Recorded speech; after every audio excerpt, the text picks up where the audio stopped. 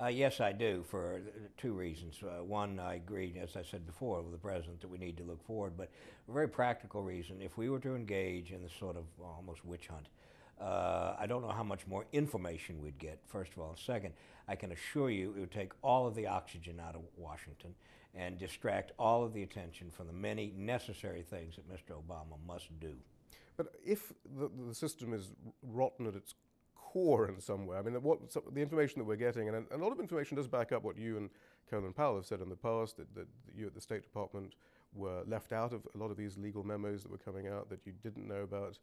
Um, that, well, that, that you were certainly fighting for the Geneva Conventions at all times.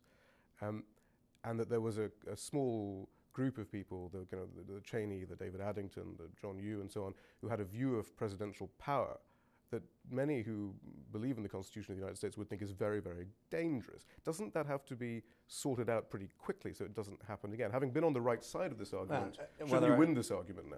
We, uh, it's hard for a bureaucrat, and I was a bureaucrat in the Department of State, uh, to say that we were happy we were left out of meetings. But the reason we were left out of the meetings is, as you suggest, we strongly resisted uh, calls to be more uh, outside of Geneva uh, Accords, et cetera. Uh, and certainly torture uh, would not be something that Secretary Powell or any of his colleagues would, would endorse in any way. I don't agree with your statement about rotten at the core. in fact, if you look, you'll see that there are various people, whether it was in the Department of State, and I'm not, I'm not a saint, I can assure you, or people like the General Counsel of the Navy, who uh, who uh, actually resigned, uh, and various people up and down the line who did the right thing and said the right thing. So to say it was rotten at the core well, to prove that it isn't, fair. because that is that is a perception. No, no, well, wait a minute. There's, I want to make a point though. You correctly identified that the uh, administration took enormous power under themselves, into the executive branch. But one of the reasons they did that was because two other parts of our necessary parts of our bureaucracy were absent without leave: the U.S. Congress and the media. And following 9/11, they took a powder. They left town. And any administration, whether it had been Bill Clinton, John F. Kennedy, or any of them, they would have done exactly what Mr. Bush did, which was to gather to themselves as much executive branch power as possible. In conclusion, though, the president then is above the law. David Addington, Dick Cheney, John Yoo have, have, have set the precedent now that the, the, the, the, the small groups of people within the government can try and manufacture ways to, um, uh, to sideswipe the Constitution, to not uphold the law, and get away with it. That does mean the president is above the law. The president, the precedent is now set if there are no prosecutions and there is no accountability. Sure. No, well, uh, I think that this was not a, to have a small group of people in any of the U.S. government, successive governments, that try to move things their direction is not unprecedented. Uh, you're trying to get me to say that there ought to be prosecutions, and I don't agree with you.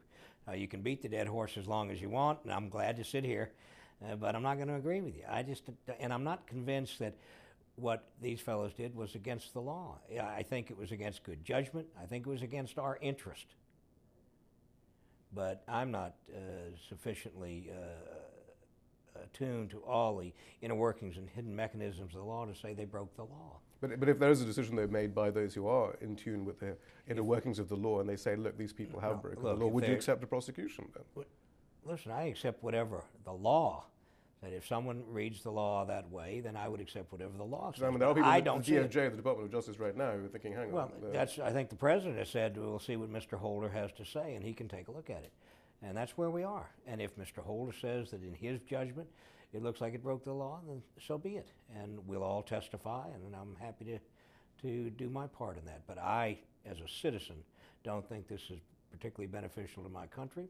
I frankly don't think it's beneficial to the international system. It's going to depend to some extent on the United States taking care of more traditional business in a more traditional way. And I think it would uh, distract us from that.